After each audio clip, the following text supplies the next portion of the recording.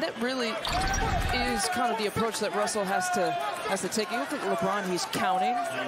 Giannis at the free throw line. You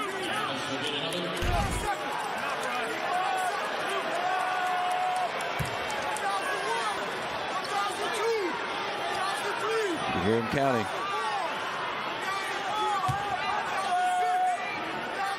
LeBron's not the only one counting over there on that bench.